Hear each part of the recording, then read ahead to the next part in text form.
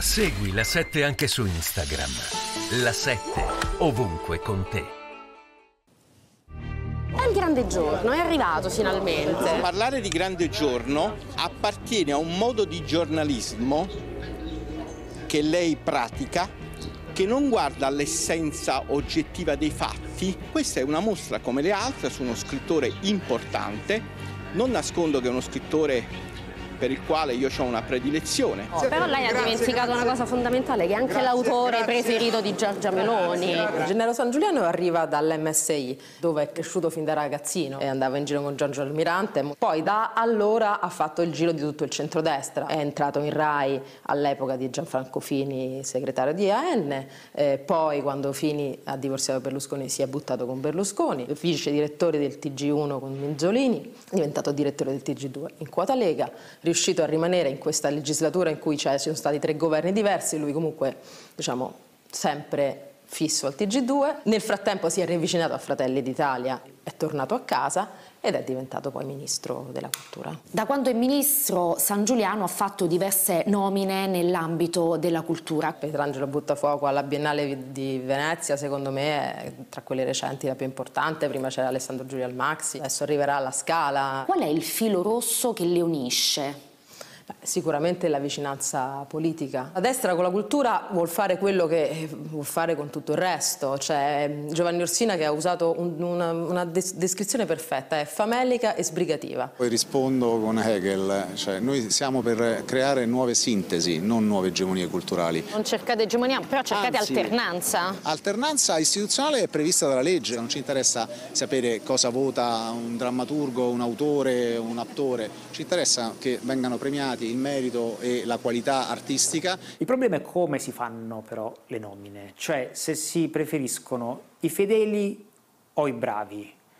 Ho detto O perché le due cose non stanno quasi mai insieme. I bravi di solito non sono fedeli, perché sono consapevoli del proprio valore, quindi sono indipendenti, non si fanno mettere i piedi in testa. E una delle ultime nomine del Ministero della Cultura ci porta in ciociaria, precisamente a Frosinone. Questo è un autolavaggio, la persona che cerchiamo è proprio qui dietro. Salve, scusi, è il signor Tagliaferri? Lui è Fabio Tagliaferri, alfiere di Fratelli d'Italia in ciociaria. È il nuovo amministratore delegato di Ales, società in house del Ministero della Cultura, che gestisce tra le altre cose l'art bonus, l'archivio della canzone italiana e soprattutto fa attività amministrativa. Prima di tutto congratulazioni. Grazie, grazie tante. Ma come mai questa nomina? Io ho una laurea in economia e commercio magistrale ho tre aziende, sono 25 anni che ho fatto il pubblico amministratore. Però ci chiediamo a livello di cultura quali sono le sue competenze, perché mi risulta che lei gestisce Guardi, un autonoleggio. Ho tre aziende in realtà, che si occupano di noleggio, di, di automotive in senso lato e anche di assicurativo. Ho visto anche il curriculum dell'ex amministratore delegato e presidente che aveva un elenco infinito di competenze interne, cioè di competenze eh sì, culturali. Eh sì, eh sì. L'amministratore l'amministratore delegato di Ales. Non è un critico d'arte, ma deve essere un manager che gestisce un'azienda che, come lei vedrà, fattura 100 milioni di euro wow. e che ha oltre 2500 dipendenti, pertanto c'è bisogno di una figura manageriale. Lei ha tutti questi dipendenti eh sotto no, di lei? Ma non ci vogliono 3.000 dipendenti per poter gestire un'azienda da 3.000 dipendenti, è sufficiente avere un'azienda con dei dipendenti, io ne ho avuti 10, 5, 7 a seconda dei periodi. Ales ha anche la gestione artistica del Museo delle Scuderie del Quirinale. L'ex presidente per un anno gestirà la direzione che delle scuderie del Quirinale, perché lui è proprio competente, eh, mi dicono che abbia organizzato anche delle mostre, eccetera, eccetera. Tutte le polemiche sull'amichettismo, che effetto hanno fatto su di lei? L'ha sentita Meloni dopo no, la nomina? Io ho mandato il messaggio, insomma, il Presidente mi ha, mi ha augurato buon lavoro. Io ho il mito di Giorgio Meloni, cioè io non è che so, cioè per me cioè, per me mh, mm, è difficile essere, io non so assolutamente, cioè, proprio pendo dalle labbra, cioè io mi passo le giornate a vedere i, i, i video? I video. Sui social, quelli, sì. il diario di Giorgia, sì, le sue, le sue uscite a Palazzo Chigi.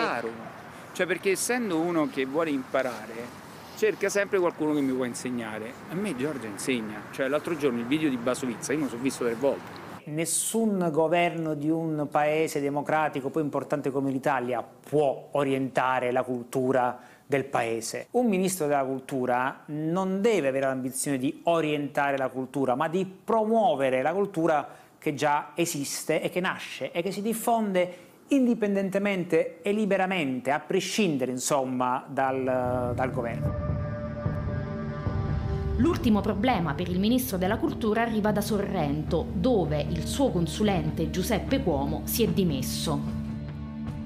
Giuseppe Cuomo è stato sindaco di Sorrento dal 2010 al 2020, precedentemente è stato a lungo consigliere provinciale di Napoli e fino al 2019 è stato l'elemento di punta di Forza Italia in costiera sorrentina. Dai nostri articoli sul Fatto Quotidiano il ministro San Giuliano si accorge che Giuseppe Cuomo era rimasto socio di un pregiudicato di Camorra, Salvatore Langellotto, 4 anni e 6 mesi per concorso esterno nel clan Esposito, in una società che era stata appena raggiunta da un'interdittiva antimafia.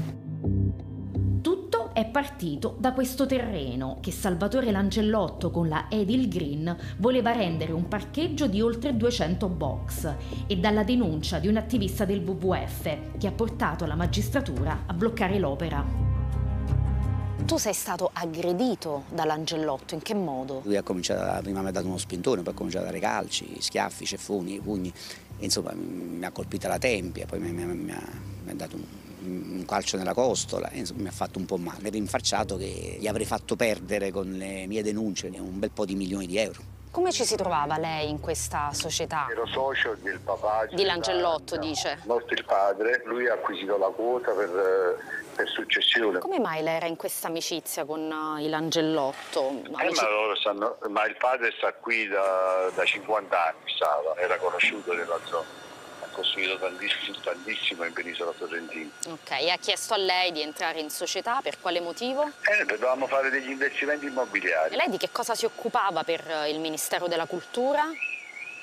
Io sono stato nominato come esperto nel paesaggio. Sulla base Vabbè, di quale competenza? Io, io, sono stato amministratore pubblico e poi eh, sono avvocato. E... La Lega ha un rapporto personale a San Giuliano che ha visto le sue potenzialità, le sue capacità. Eh, ma sì, per noi è solo un rapporto personale, non è che ci sia un rapporto politico. Volevamo chiederle un po' sulle nomine e gli ultimi problemi che aveva avuto in questo periodo, come ad esempio quello su Cuomo, la società con un pregiudicato è pesante. Infatti gli ho chiesto immediatamente le dimissioni, pur non essendo indagato, in meno di 24 ore si è dovuto dimettere. E sulle sue competenze specifiche, perché non ci risulta che lui abbia competenze in materia di paesaggio, anzi... È un avvocato realtà, amministrativista. Eh, ma da Sorrento ci hanno detto che in realtà la sua amministrazione non sia stata specchiata dal punto di vista paesaggistico. Non è mai stato indagato. Mentre su Tagliaferri, su Ales mi può rispondere?